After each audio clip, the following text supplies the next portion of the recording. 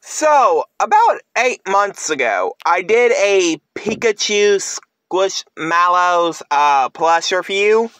If y'all remember, I did a review on that months ago, like eight months ago. So, I had a feeling they would do more, like,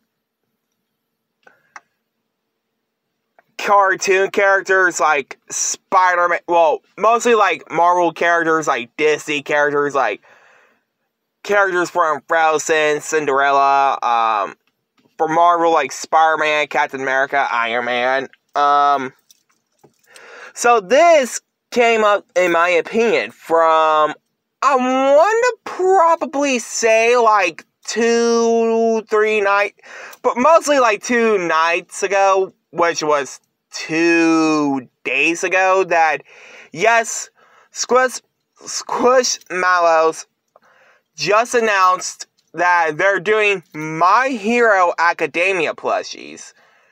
Small and big. I never bought the small ones because I can't find them anywhere. Well, except for Walgreens.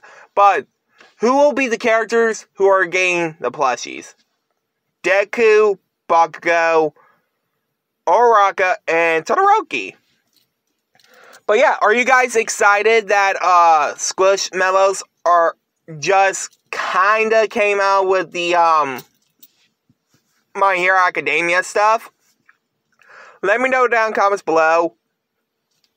Stay tuned for two unboxings later. But anyway, guys, you guys like, comment, subscribe. But before I end the video, again, the two unboxings are for early November unboxings.